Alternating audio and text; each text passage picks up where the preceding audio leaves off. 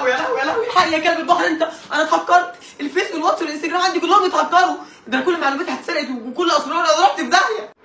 والعذاب ده هيفضل مطاردني لحد دلوقتي كل ده عشان علمتك نت ما تهكرتيش يوم ما تهكرتيش. الواتس والفيس والإنستجرام كل حاجة اتقفلت. ده يعني إيه ده اتقفل؟ الشركة نفسها اتهكرت بقى ولا بتعمل تحديث ما حدش عارف؟ يا لهوي.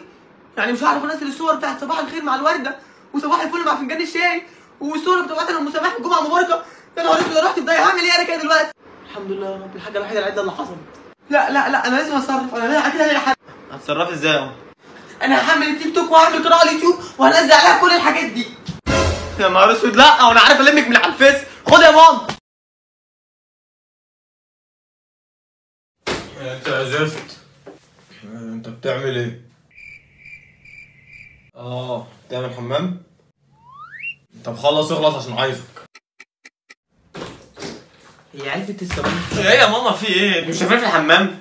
عايز إيه زفت انت بتزعق ليه؟ كنت داخل اخد علبة الصابون وبعدين متضايق متضايق إيه يا هبل ده أنا أمك انت كنت حتة لحمة قد كده في بطنك هو في إيه؟ هو أنا اللي حاسس ان أنا قاعد في اوضتي بقول لك إيه ما شفتش الشاحن بتاعي شاحن إيه؟ شاحن إيه ده اللي تقدر عليه في الحمام؟ في إيه بقى؟ خلاص